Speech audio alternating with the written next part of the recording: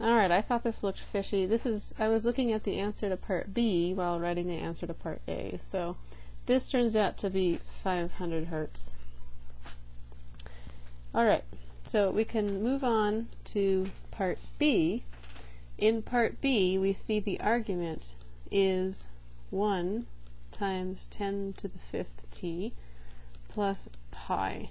So we can see that this depends on time, but there's no space component. So this is not a traveling wave, not a wave. But we can still convert it to a, the, a phasor domain and get a phasor. So we apply Euler's identity. So applying Euler's identity, we get, oh, first of course we check it that it's written in terms of cosine, and it is. So now we can apply Euler's identity.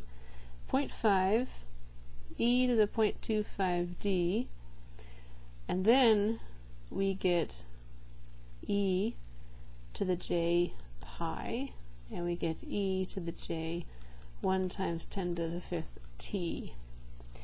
And then for the third step, we get rid of the e to the j omega term, t term. So here I'll disregard that. And so then the voltage phasor we wind up with only a function of d is 0.5 e to the 0.25d. Now let's take a moment, okay, I'll write the rest of it, e to the j pi. Let's take a moment and look at this term.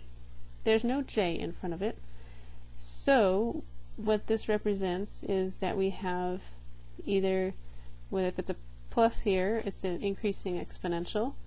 If there was a minus sign in the exponent, it would be a decaying exponential, which means our amplitude would be changing with distance d. So this is the amplitude. So the amplitude is not constant. If this, in this case, it's growing with distance d. And e to the j pi is just a constant phase applied everywhere on all, no matter what d is, there's a constant e to the j pi phase. And this is volts. And 0.5 is the amplitude at d equal 0. Alright, then the last thing is to find the frequency at which this phasor is valid. So for that, same as the last one, we take omega over 2 pi, 1 times 10 to the fifth over 2 pi, and we get 15.9 kilohertz.